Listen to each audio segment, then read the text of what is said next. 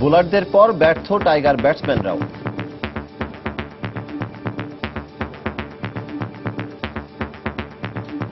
Eden গার্ডেন্সের super টেনের ম্যাচে পাকিস্তানের বিপক্ষে দুশো দুই রানের পাহাড় সম টার্গেটে ব্যাট করছে বাংলাদেশ।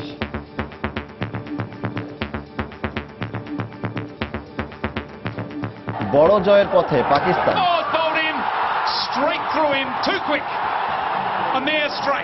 এবার অন্যান্য শীর্ষ সংবাদ। রিজার্ভে চুরি যাওয়া অর্থ সাদা করতে ক্যাসিনো কর্মকর্তাকে তিন কোটি ডলার দেয় হ্যাকাররা। শুনানিতে ফিলিপিন সিনেটর। নতুন গভর্নর যোগ দেওয়ার পর পরবর্তী পদক্ষেপ জানালেন অর্থমন্ত্রী। যুদ্ধাপরাধী জামায়াত নেতা নিজামীর সঙ্গে কাশিমপুর কারাগারে দেখা করলেন তার আইনজীবীরা।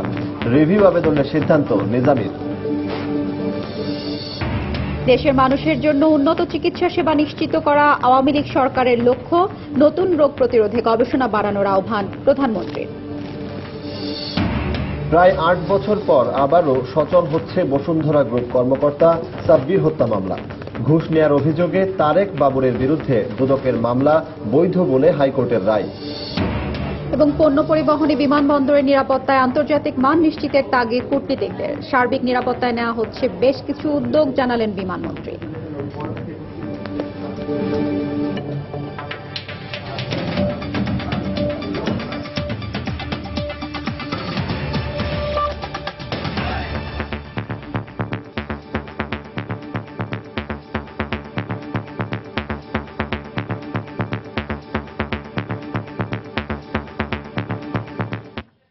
শুরুতেই টি টোয়েন্টি বিশ্ব আসরের খবর।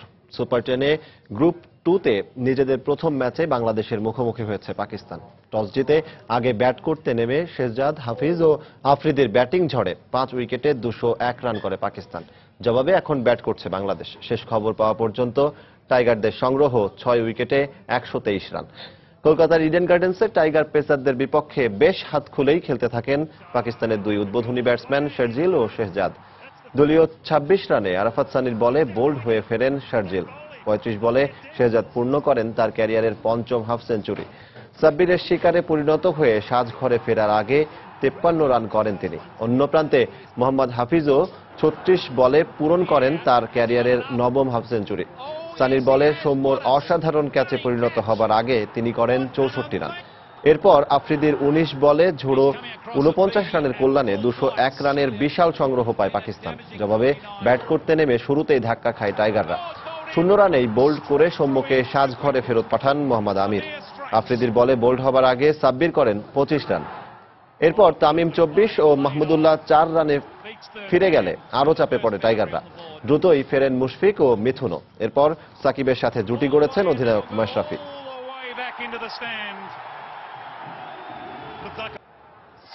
Where they needed fours and sixes. Exposing the stumps and hitting it nice and straight.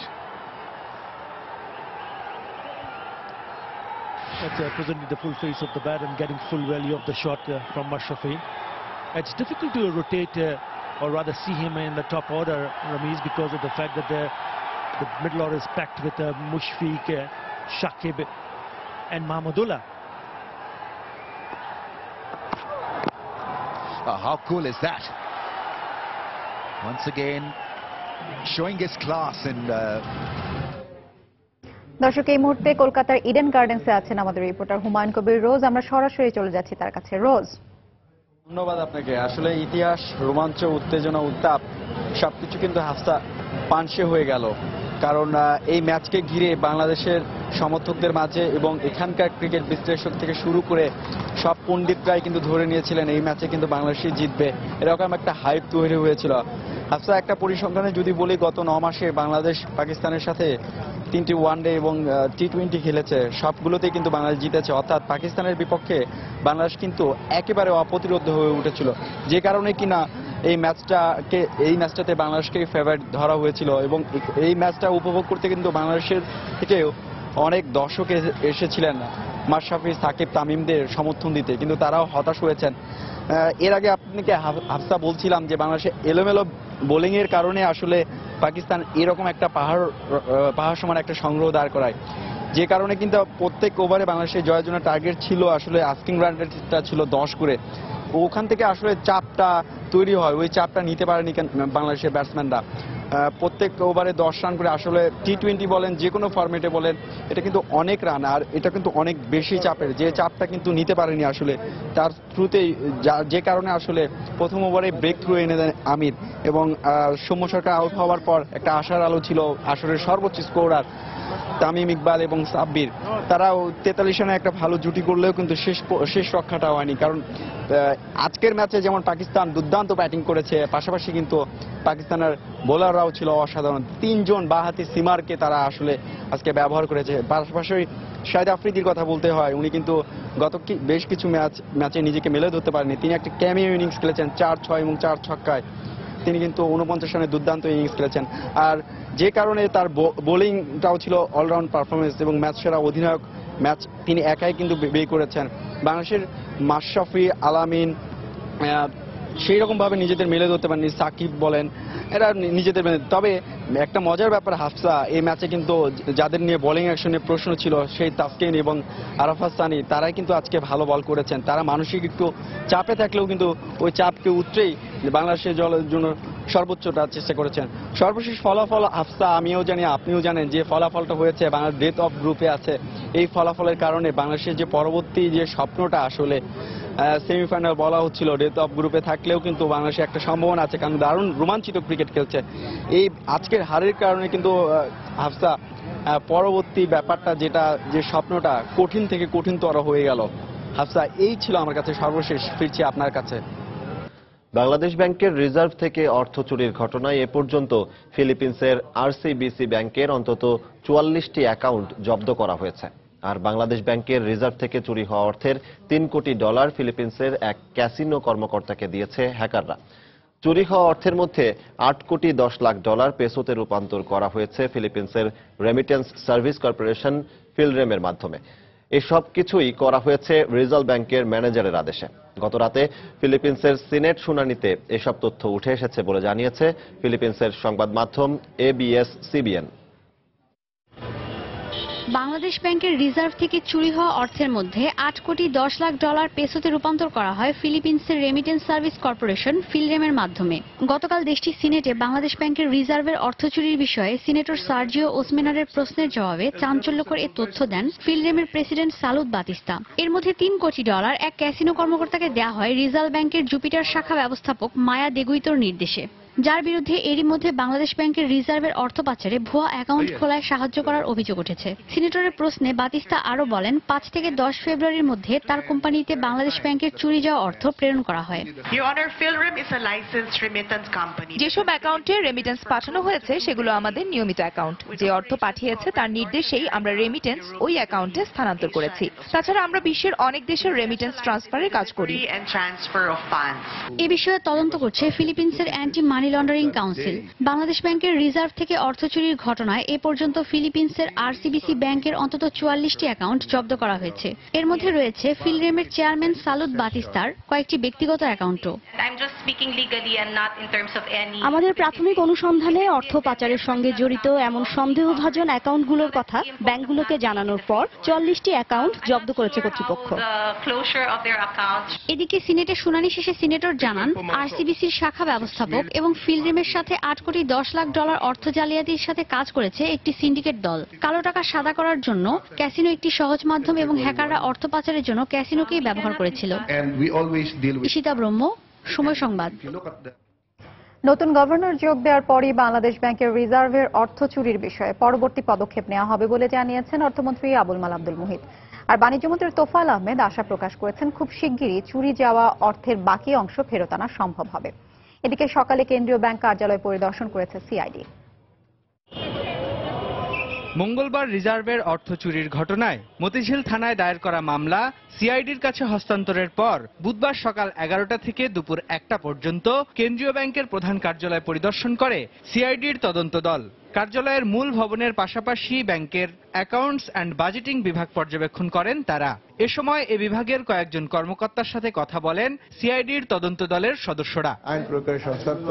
Reserve চুরির ঘটনার তদন্ত কাজের অগ্রগতি হচ্ছে উল্লেখ করে স্বাভাবিকভাবেই বাংলাদেশ ব্যাংকের কার্যক্রম চলছে বলে জানিয়েছেন কেন্দ্রীয় ব্যাংকের মুখপাত্র শুভঙ্কর সাহা। বাংলাদেশ ব্যাংকের আজকের যে কার্যক্রম সেই স্বাভাবিক কার্যক্রমগুলো স্বাভাবিক গতিতেই চলছে এবং সিআইডি দলের কয়েকজন সদস্য বাংলাদেশ ব্যাংকে এসে বিষয়টা দেখছেন এবং সংশ্লিষ্ট কর্মকর্তাদের সাথে আলাপ আলোচনা করছেন। রিজার্ভের অর্থ চুরির প্রসঙ্গে সাংবাদিকদের প্রশ্নের জবাবে বুধবার সচিবালয়ে অর্থমন্ত্রী আবুল মাল আব্দুল মুহিত জানান আঠারো মার্চ নতুন গভর্নর যোগ দেওয়ার পরপরই নতুন পদক্ষেপ নেওয়া হবে।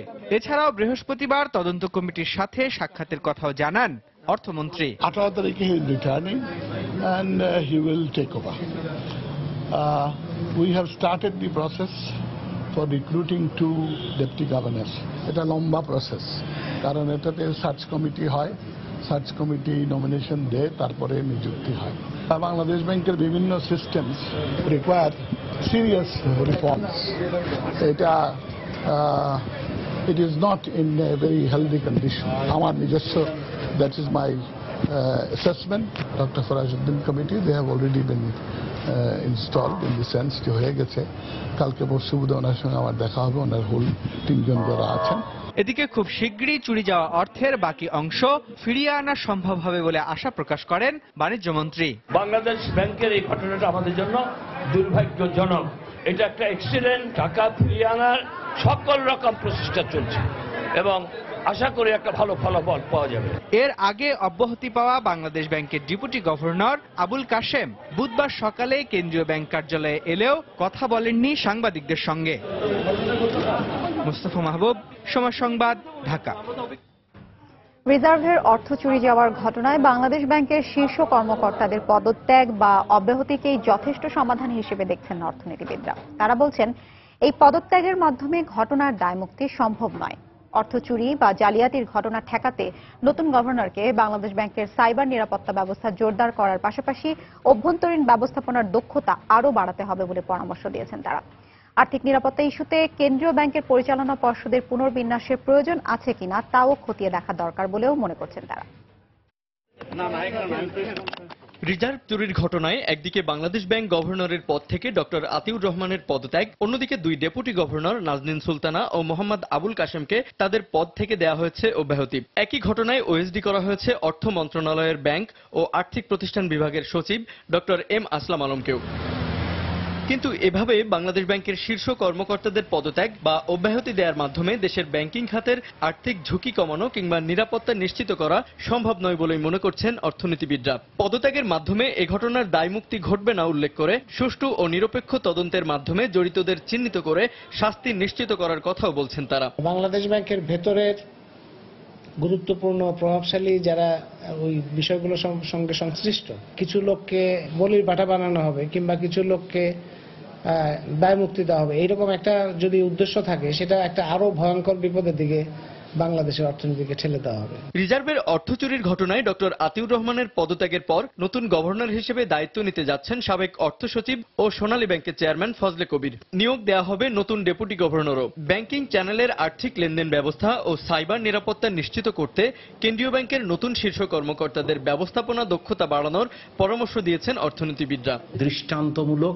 শাস্তির ব্যবস্থা করতে হবে যাতে ভবিষ্যতে কোনো কোনো মহলই এই ধরনের কাজ করতে কোনো রকম উৎসাহিত না হয়। বাংলাদেশের যে রেগুলেটরি ব্যবস্থা সেই ব্যবস্থায় অনেক পরিবর্তন আনতে হবে। যে যে ধরনের পরিবর্তন আনা দরকার ব্যবস্থাপনায় এবং যন্ত্রপাতিতে এবং প্রশিক্ষণের ক্ষেত্রে কর্ম সেই জিনিসগুলো যেন নেওয়া হয়। আর্থিক খাত এবং ব্যাংকিং খাতে যারা কিনা এই বিভিন্ন ধরনের লেনদেনের সাথে জড়িত তাদের জন্য একটি সাইবার নীতিমালা প্রয়োজন। এ ধরনের ঘটনা ঠেকাতে অর্থ মন্ত্রণালয় থেকে প্রস্তাবিত ব্যাংকিং কমিশনের কার্যপরিধির আওতা বৃদ্ধি করে কেন্দ্রীয় ব্যাংকের অভ্যন্তরীণ কার্যক্রম পর্যবেক্ষণ করার কথাও বলছেন তারা।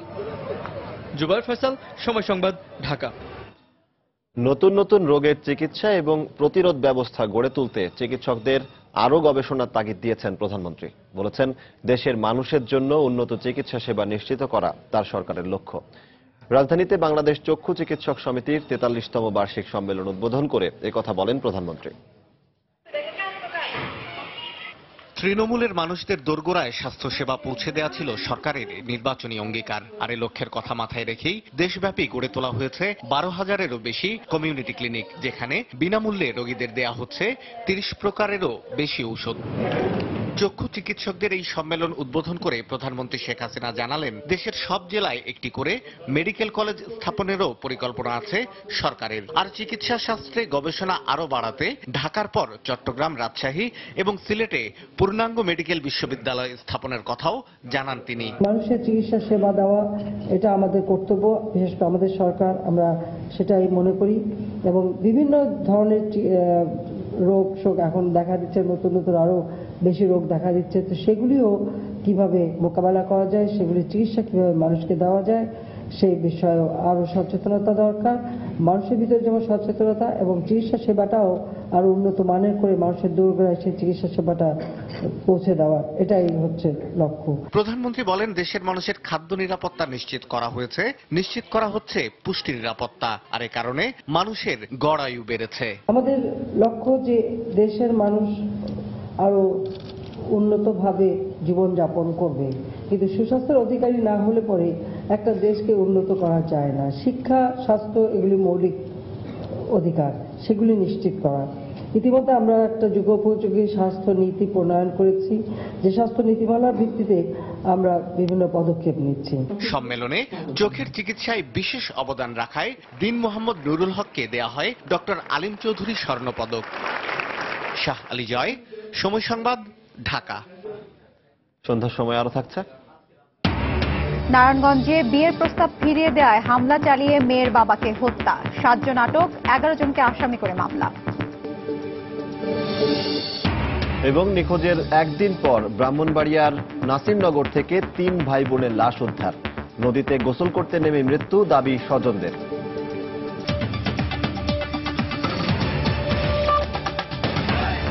তাই তো সবাই বলে শিল্পাল্লার দিন শেষ, মেগা ডিজিটাল স্কেলে বাংলাদেশ।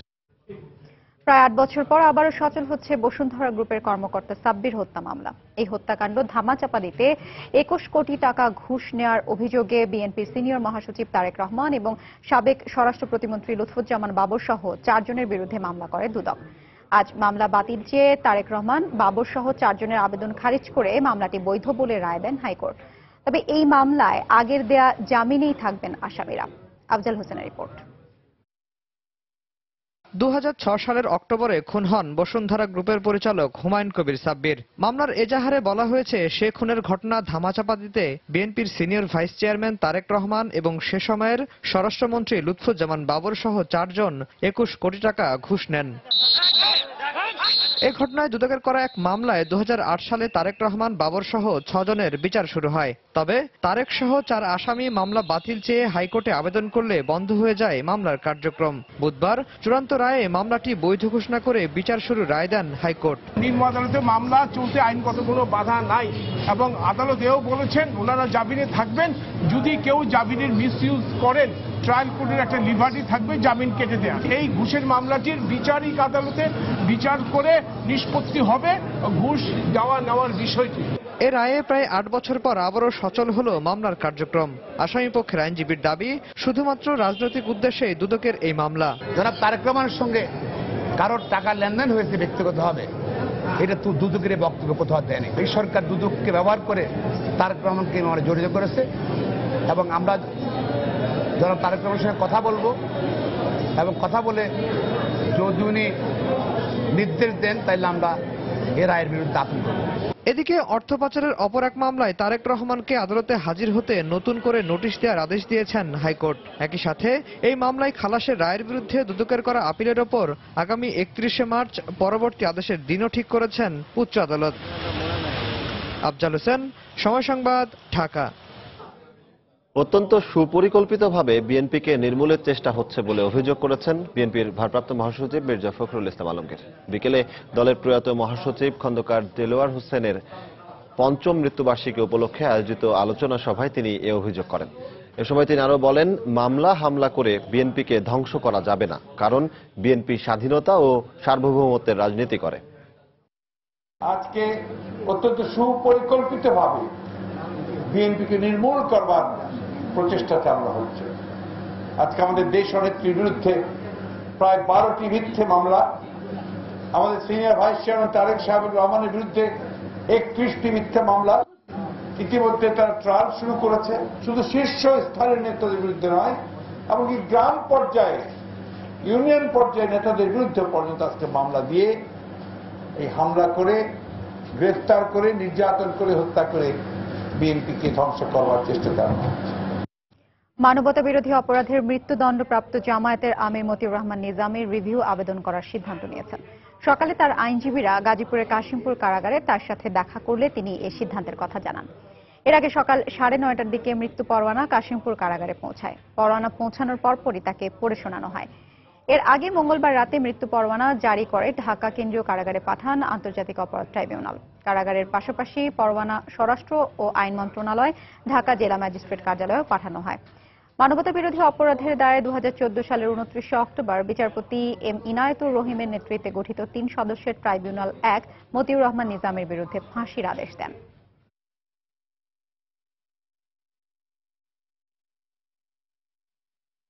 রিভিউ করা হবে কি না? এই বিষয়ে তার মতামত নেওয়ার জন্য আমরা সাক্ষাৎকারে গিয়েছিলাম।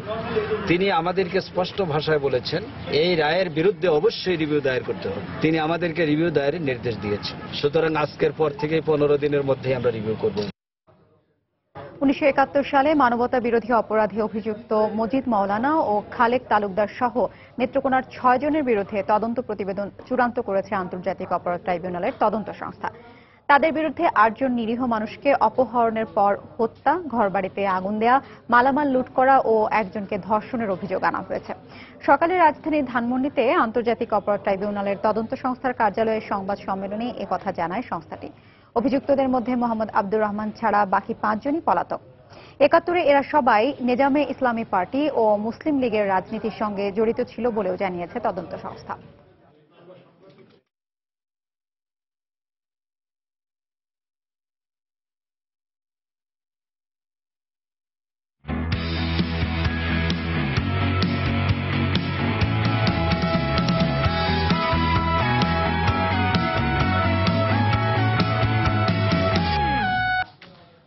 ওয়ার্ল্ড টি টোয়েন্টির সুপার টেনের গ্রুপ ম্যাচ ওয়ানের ম্যাচে মুখোমুখি হবে ইংল্যান্ড ও ওয়েস্ট ইন্ডিজ মুম্বাইয়ের ওয়াংখেড়ে স্টেডিয়ামে আজ রাত আটটায় শুরু হবে ম্যাচটি। দু ও দু সালে যথাক্রমে ওয়ার্ল্ড টি টোয়েন্টির শিরোপা হাতে নেয় ইংল্যান্ড ও ওয়েস্ট ইন্ডিজ কাগজে কলমে টি টোয়েন্টির বড় দল ওয়েস্ট ইন্ডিজ ক্যারিবীয় দলে ক্রিস গেইল স্যামুয়েলস ব্রাভো রাসেলরা তো আছেনই।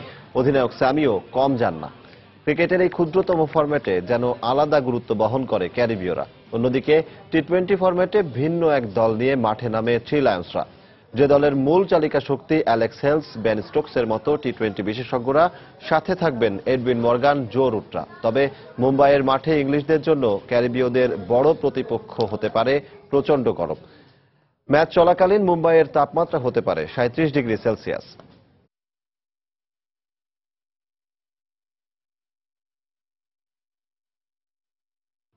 বায়োমেট্রিক পদ্ধতিতে সিম নিবন্ধন নিয়ে বিতর্ক অযৌক্তিক বলে মন্তব্য করেছেন ডাক ও টেলিযোগাযোগ প্রতিমন্ত্রী তারানা হালিম। তিনি বলেন, এই পদ্ধতিতে আঙুলের ছাপ সংরক্ষণ করা হচ্ছে না। কেবল জাতীয় পরিচয়পত্রের সঙ্গে যাচাই করা হচ্ছে। সকালে সচিবালয়ে বায়োমেট্রিক পদ্ধতিতে সিম ও রিম কার্ডের রেজিস্ট্রেশন কার্যক্রম বিষয়ে সব মোবাইল অপারেটরদের প্রধান নির্বাহী কর্মকর্তা ও সংশ্লিষ্টদের সঙ্গে বৈঠক করেন মন্ত্রী। বৈঠক শেষে তিনি বলেন, আঙুলের ছাপ তৃতীয় পক্ষের হাতে যাবার কোনো সুযোগ নেই। একটি স্বার্থান্বেষী মহল ষড়যন্ত্রমূলকভাবে বিভ্রান্তি ছড়াচ্ছে বলে অভিযোগ করেন ডাক ও টেলিযোগাযোগ প্রতিমন্ত্রী।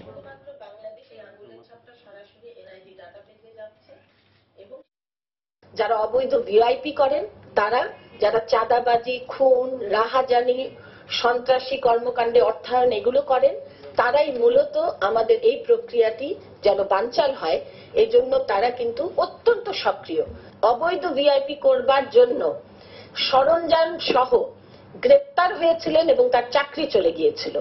তিনি হলেন মিডিয়ায় সাক্ষাৎকার প্রদানকারী। এই বায়োমেট্রিক সিমডিম নিবন্ধনের বিরুদ্ধে একজন ব্যক্তি।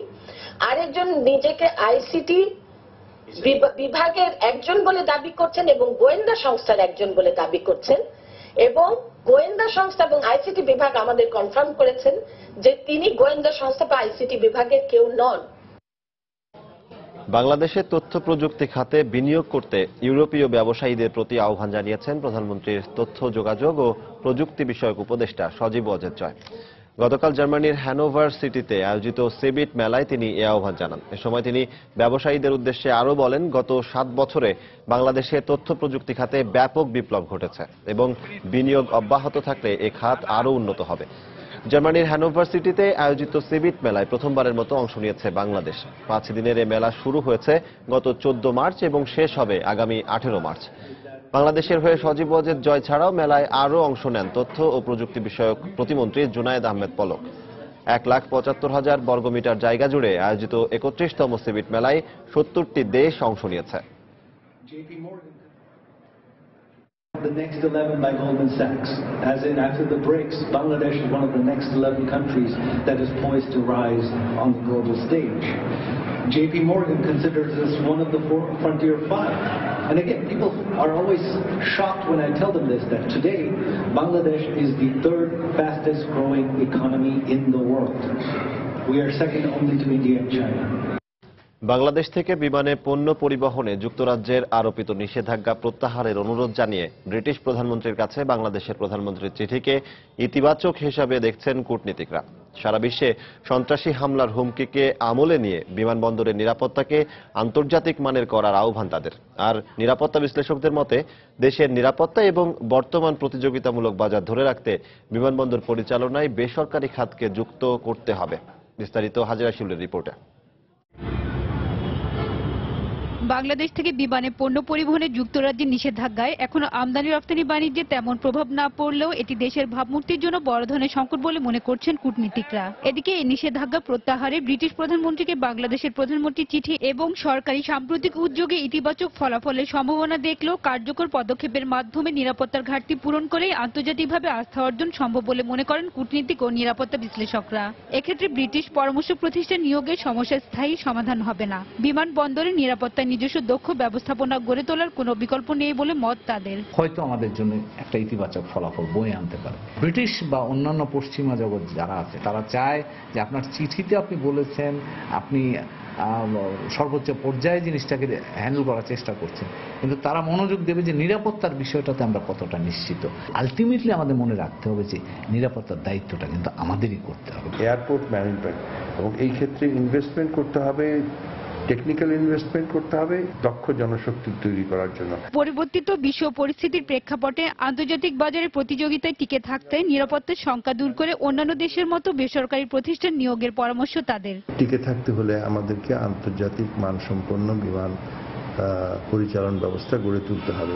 বড় বড় এয়ারপোর্ট যেগুলো আমরা মনে করি সিঙ্গাপুর লন্ডন হিথ্রো ইউনো জিএফকে নিউ ইয়র্কের এগুলো সব প্রাইভেটাইজড সব প্রাইভেট এবং কম্পিটিশনে তারা কাজ করছে। কিন্তু আমাদের এখানে হচ্ছে সরকার নিয়ন্ত্রিত হওয়াতে সারা জীবনের জন্য চাকরি। চাকরি আছে ট্রেড ইউনিয়ন আছে, আপনি অদক্ষ কর্মচারীদেরকে বের করতে পারছেন না। এভাবে কিন্তু আধুনিক বিশ্বে টিকে থাকাটা কঠিন। নিরাপত্তার ক্ষেত্রে আন্তর্জাতিক মানদণ্ডের শর্ত পূরণ না করার কারণ দেখিয়ে গত আট মার্চ ঢাকা থেকে সরাসরি যুক্তরাজ্যে কার্গো পরিবহনের ওপর নিষেধাজ্ঞা আরোপ করে একত্রিশে মার্চ পর্যন্ত সময় বেঁধে দেয় যুক্তরাজ্য। হাজারি শিউলি, সময় সংবাদ, ঢাকা। হজরত শাহজালাল আন্তর্জাতিক বিমানবন্দরের নিরাপত্তা সংক্রান্ত আলোচনা করতে বিদেশি দুইটি সিকিউরিটি কোম্পানির সঙ্গে আলোচনা করা হচ্ছে বলে জানিয়েছেন বেসামরিক বিমান পরিবহন ও পর্যটন মন্ত্রী রাশেদ খান মেনন। দুপুরে শাহজালাল আন্তর্জাতিক বিমানবন্দরে সাংবাদিকদের তিনি কথা বলেন। এ সময় তিনি আরও বলেন, বিমানবন্দরের সার্বিক নিরাপত্তা পরিবর্তনে নিয়োগ সহ বেশ কিছু উদ্যোগ নেওয়া হয়েছে। চারটা কোম্পানির সাথে আমরা যোগাযোগ করেছিলাম। তার মধ্যে দুটো কোম্পানি আমরা মোটামুটিভাবে প্রাইমারিলি এটা আলোচনা হয়েছে। এই মুহূর্তে আমাদের প্রথম কাজটা হলো যে তাদের এই সিকিউরিটি অ্যাপারেটসগুলো ঠিক করে তারা আমাদেরকে বলবেন এবং এরপরে এটা যাতে সাস্টেনেবল হয়, যাতে টেকসই হয়, তার ব্যবস্থাটা করার ক্ষেত্রে তারা এগিয়ে আসবেন। এবং উনিশ তারিখে আমরা ফাইনালাইজ করে বিশ তারিখে আমাদেরকে এটা যদি দশ কোটি টাকার উপরে হয়, বিশ তারিখের মধ্যে আমরা ব্রিটিশ গভর্নমেন্টকে জানাতে পারব। আমরা ওভারঅল সিকিউরিটির ক্ষেত্রে কথা বলতে পারি যে, বিভিন্ন ক্ষেত্রে আমরা সেই সিকিউরিটিগুলো অলরেডি আমরা করে ফেলেছি। ব্রাহ্মণবাড়িয়ায় নিখোঁজের একদিন পর তিন ভাই বোনের লাশ উদ্ধার করেছে পুলিশ। দুপুরে নাসিরনগর উপজেলার বোমালিয়া নদী থেকে তিন শিশুর লাশ উদ্ধার করা হয়। পুলিশ ও স্বজনরা জানায়, গতকাল দুপুরে রতনপুর গ্রামে বোমালিয়া নদীতে গোসল করতে গিয়ে নিখোঁজ হয় চার বছরের শিশু বাদশা এরপর তাকে খুঁজতে গিয়ে বাদশাহর বড় বোন সুলতানা ও ভাই রাজা নিখোঁজ হয়। পরে আজ দুপুরে তাদের লাশ নদীতে ভেসে উঠতে দেখে পুলিশের খবর দেয় স্থানীয়রা। পরে পুলিশ এসে তিন শিশুর লাশ উদ্ধার করে ময়নাতদন্তের জন্য সদর হাসপাতাল মর্গে পাঠায়। বিশ দিন আগে তাদের পুকুর বাড়ি নাসির নগরে বেড়াতে আসে তিন ভাই বোন তাদের বাবা সাত্তার মিয়া চাকুরির কারণে সিলেটে এবং মা লেবানন প্রবাসী বলে জানিয়েছে পুলিশ। এদিকে স্বজনদের দাবি, শত্রুতার জেরে নয়, নদীতে গোসল করতে নেমেই মারা গেছে তারা।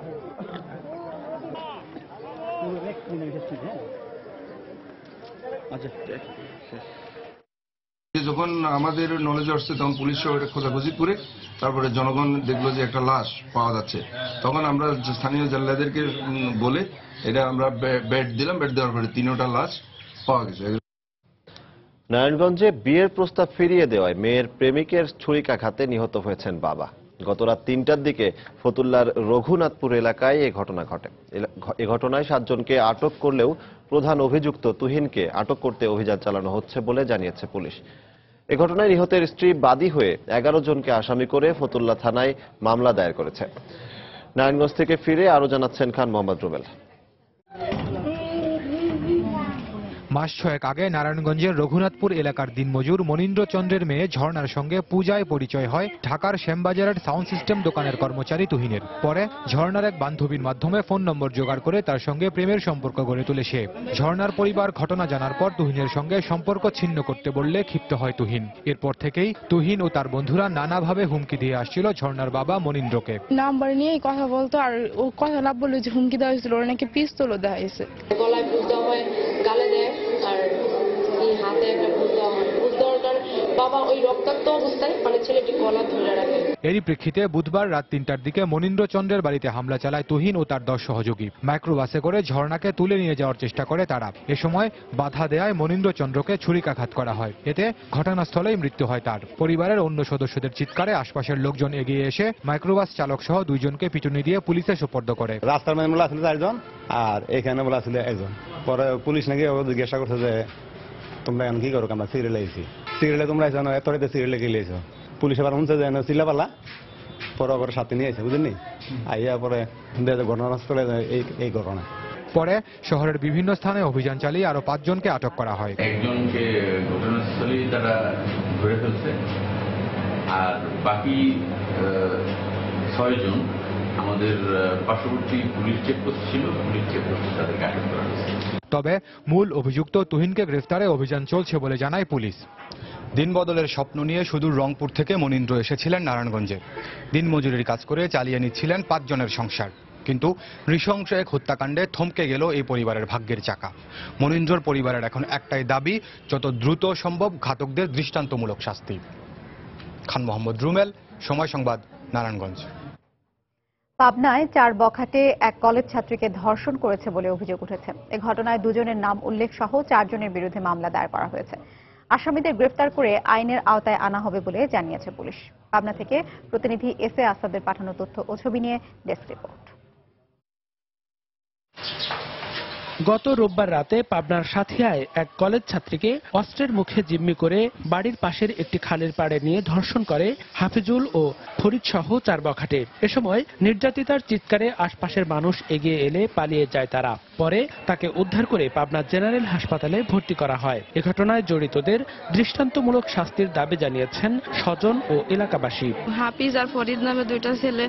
আমার পিছন থেকে এসে আমার গলা ধরে আমার মুখ আটকে রাখে। রাখার পর আমার বাড়ির পিছনে একটা পাগার ডোবা ছিল সেখানে নিয়ে যায়। আমার ছোট বোনের যেন এই বিচার হয় সুস্থ বিচার হয় ওর ফাঁসি চাই আমরা মাননীয় প্রধানমন্ত্রীর হস্তক্ষেপ চাই। নির্যাতিতার ডাক্তারি পরীক্ষা সম্পন্ন হয়েছে বলে জানিয়েছেন চিকিৎসক। প্রাথমিক যেটা পাওয়া গেছে ওটা আমরা লিখে রাখছি। রিপোর্ট এখনও ফাইনাল রিপোর্ট পাওয়া যায়নি। এ ঘটনায় সোমবার নির্যাতিতা বাদী হয়ে সাথিয়া থানায় দুজনের নাম উল্লেখ সহ চারজনের বিরুদ্ধে মামলা করেন। ঘটনার খবর পাওয়ার সাথে সাথেই আমরা অত্যন্ত গুরুত্বের সঙ্গে নিয়েছি ব্যাপারটা আর মামলাও হয়েছে। আসামি ধরার ব্যাপারে আমরা তৎপর আছি। ঘটনার পর থেকে অভিযুক্ত হাফিজুল ও ফরিদ সহ চার বখাটে পলাতক রয়েছে। সময় সংবাদ পাবনা। এদিকে পাবনায় কলেজ ছাত্রী ধর্ষণের ঘটনার প্রতিবাদে বিক্ষোভ মিছিল ও মানববন্ধন করেছেন সহপাঠীরা। সকালে শহরের আব্দুল হামিদ রোড এলাকা থেকে একটি বিক্ষোভ মিছিল বের করা হয়। মিছিলটি শহরের প্রধান প্রধান সড়ক প্রদক্ষিণ করে আবারও আগের স্থানে গিয়ে শেষ হয়। পরে সেখানে মানববন্ধন ও প্রতিবাদ সমাবেশ অনুষ্ঠিত হয়। এ সময় বক্তারা কলেজ ছাত্রী ধর্ষণের ঘটনায় জড়িতদের দ্রুত গ্রেফতার করে দৃষ্টান্তমূলক শাস্তির দাবি জানান।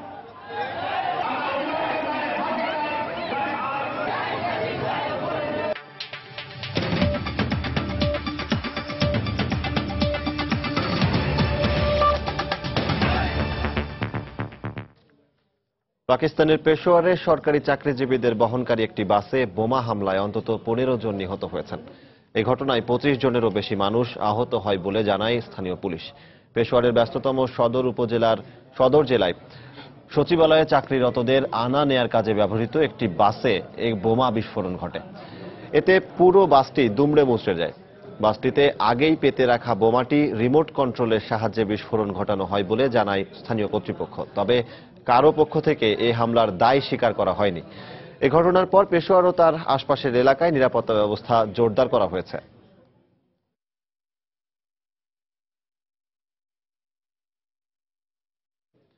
নাইজেরিয়ায় একটি মসজিদে দুই নারীর আত্মঘাতী বোমা হামলায় নিহত হয়েছে অন্তত বাইশ জন। বুধবার উত্তর পূর্বাঞ্চলীয় মাইদুগুরি শহরে ফজরের নামাজের সময় এ হামলা চালানো হয় বলে জানায় স্থানীয় কর্তৃপক্ষ।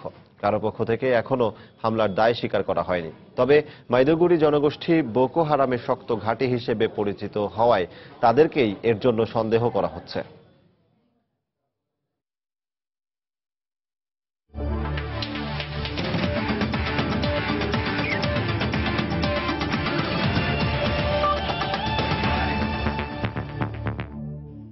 পাকিস্তানের বিপক্ষে পঞ্চান্ন রানের হতাশার হার দিয়েই শুরু হলো টাইগারদের world T twenty super ten পর্ব। তবে এত কিছুর মাঝেও ক্রিকেট ভক্তদের রোমাঞ্চের ছোঁয়া এনে দেন সৌম্য সরকার। অর্ধশতক হাঁকানো মোহাম্মদ হাফিজ আরাফাত সানির বলে ছক্কার মার মারলে প্রায় বাউন্ডারি লাইনের ওপর থেকে বল টেনে এনে ওপরে ছুড়ে তাকে ক্যাচে পরিণত করেন সৌম্য। চলুন দেখে নেই চমৎকার এই প্রদর্শনীর এক ঝলক।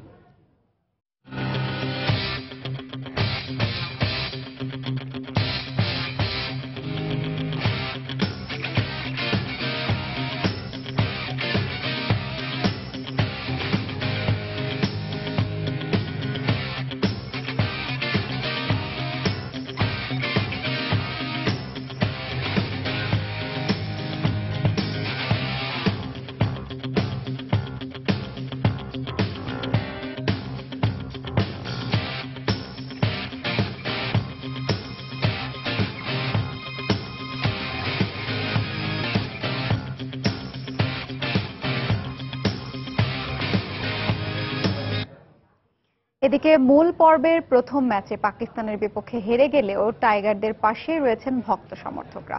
বড় স্কোর তাড়া করতে গিয়ে অতিরিক্ত চাপের কারণেই এই ম্যাচটি হারতে হয়েছে বলে মনে করেন তারা। তবে বাকি ম্যাচগুলোতে টাইগাররা ঘুরে দাঁড়াবে বলে আশাবাদী টাইগার সমর্থকরা। তামিম ওই বলটা ওইভাবে না খেললেও পারতো। সেখানে করছে তারপরে আজকে মুশফিক এসেও খুব ভালো কিছু করতে পারল না। Tamim at least eighty run করে আউট হতো তাহলে মনে হয় বেশি ভালো হতো। রান দিয়ে ফেলেছে আমাদের বোলিংটা বোধ অ্যাটাকটা ঠিক মতো সাজানো সম্ভব হয়নি মনে হয় যার পাকিস্তানে বেশি রান নিয়ে ফেলল। খেলাতে হারজিত আছে হারজিতটা বড় কথা না আমরা ভালো খেলার চেষ্টা করছি সবাই কিন্তু প্রেশারটা নিয়ে নিছে বাংলাদেশ এই জন্য এই খেলাটা এই হচ্ছে বাংলাদেশ আশা হত হওয়ার কিছু নেই। আমরা সামনে আশাতীত যে সামনে খেলাগুলো আরও ভালো করবে। সন্ধ্যার সময়ে এই পর্যায়ে শীর্ষ সংবাদ জানিয়ে দিচ্ছি আরেকবার। রিজার্ভের চুরি যাওয়া অর্থ সাদা করতে ক্যাসিনো কর্মকর্তাকে তিন কোটি ডলার দেয় হ্যাকাররা। শুনানিতে ফিলিপিন সিনেটর।